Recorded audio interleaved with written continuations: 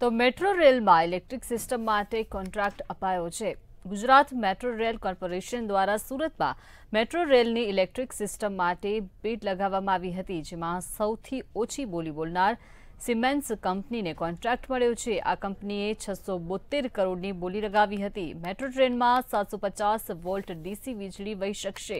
તોફાન અથવા વરસાદમાં રેલ સિસ્ટમમાં કોઈપણ પ્રકારની સમસ્યા નહીં નડે અને મેટ્રો શરૂ જ રહેશે. આ ટેકનોલોજીમાં ઓવરહેડ વાયરનો પણ ઉપયોગ કરવામાં આવશે નહીં અને પેન્ટાગ્રાફ પણ નહીં હોય. હાલમાં આ ટેકનોલોજીનો ઉપયોગ કોચી મેટ્રો, બેંગ્લોર મેટ્રો અને અમદાવાદ મેટ્રોમાં થઈ રહ્યો છે.